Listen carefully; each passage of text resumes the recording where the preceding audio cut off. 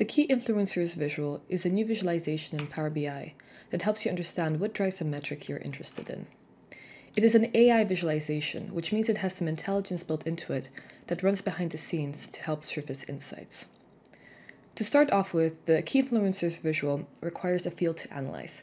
Currently, this is limited to categorical fields, and so aggregates and measures cannot be used. In this scenario, I'm a product manager who's interested in looking at some data about customers who are using our cloud service. I have information about what kinds of reviews they posted, whether they gave us a high or low rating, as well as a bunch of other information about them, such as where they're based, what kind of subscription do they have, and whether they have support tickets open with us. Going back to the visual, I would like to analyze what drives customers to give us low scores. So I'm going to drag the rating column into the field well. Once the visual renders, I can tailor the question I want to focus on. In this case, I want to see what influences a customer to give us a low score. I then need to provide the visualization with some factors that might have an impact on my customer rating.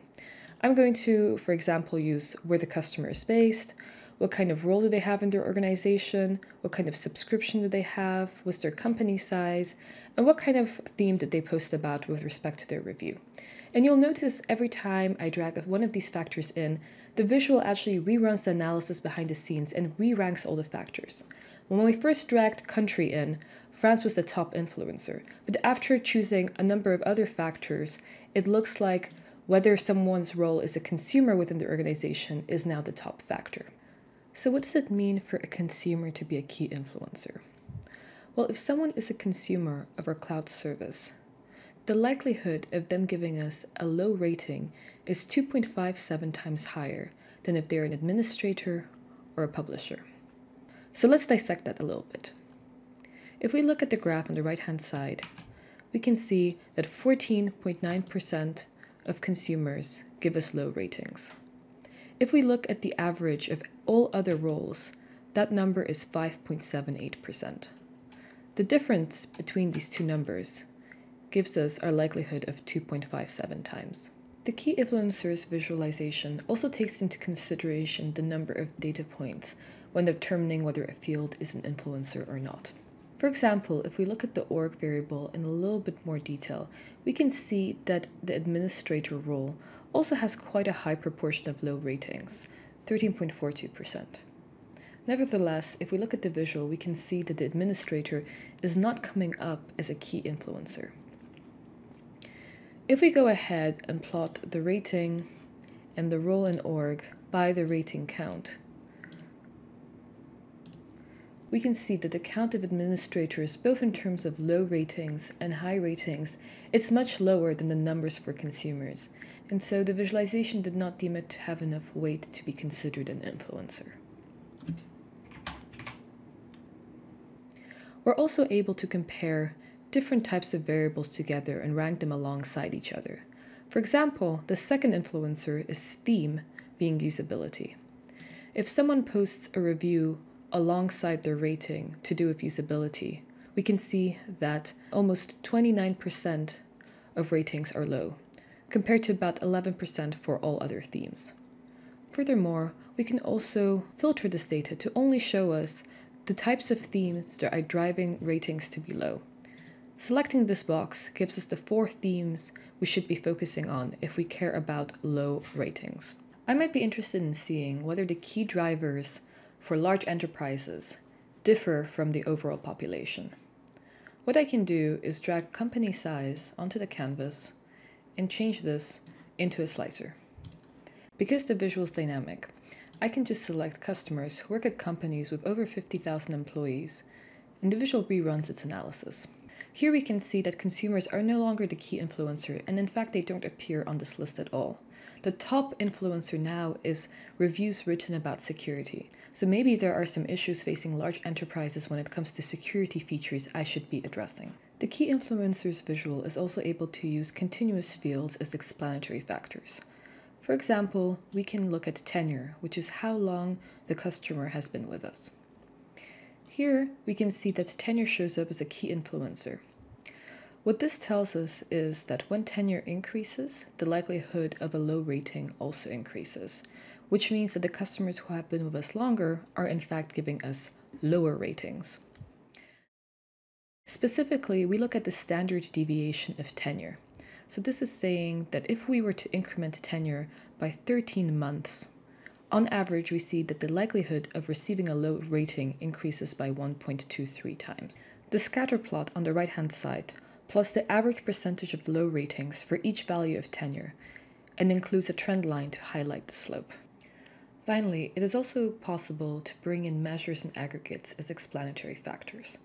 It is important to note, though, that these measures and aggregates will be evaluated at the table level of the analyzed metric.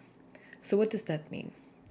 If we look at our analyzed metric, which is rating, this is defined at a customer level. Every customer can either give a high rating or a low rating. This means that if we bring in measures or aggregates, they need to become features of a customer and defined at the customer level. So let's look at an example. Imagine we wanted to see if the number of support tickets that a customer has impacts their likelihood of giving us a low or high rating. A customer can have no support tickets, one support ticket, or many support tickets. If we jump back to the visual, what we want to do is essentially look at the count of the support ticket ID. If we drag this in, we can see this has already been aggregated to a count. But if I try to select Don't Summarize, I would get the following error. This is because the support ticket ID is now defined at a more granular level than the customer. So in order for this to work, we need to be using some sort of aggregation. In this case, count is the one that makes sense for me. And indeed, we can see that when the count of support tickets goes up, the likelihood of receiving a low rating increases, which intuitively makes sense. If the customer has a lot of support tickets with us, it is reasonable to say they're not going to be giving us high ratings. The left-hand analysis is the same as what we see for continuous factors. We look at the standard deviation of support tickets, in this case that is 3. So every time we see an increment of 3 support tickets, on average the likelihood of receiving a low rating increases by 5.5 times. The right hand side groups the measure by the analyzed factor, in this case rating. So we can see what the average number of support tickets looks like for high ratings and what the average support ticket looks like for low ratings. So far, we were able to look at one factor at a time to see what are the top key influencers for customers giving us low ratings. But we also want to be able to look at multiple factors at a time Specifically, which segments of customers are likely to give us low ratings? For this sort of analysis, we can jump into the Top Segments tab. We can see that the visualization has found us a total of six segments. The height of the bubble represents what proportion of that segment has low ratings. The size of the bubble represents how many customers we have in a particular segment. If we select segment 1, in this particular segment, we can see that we have customers who are not publishers, they have four support tickets or more with us, and they have been our customer for over 29 months. 74% of these customers give us a low rating, and this is 63 percentage points higher than the average, which is highlighted here, and it is 11.7%. Furthermore, this segment contains 2.2% of my data, which is about 1,000 data points. And so we can see this represents a pretty addressable portion of the population. If I want to explore the other segments, I can click through them, and I can always go back to the high-level view over here.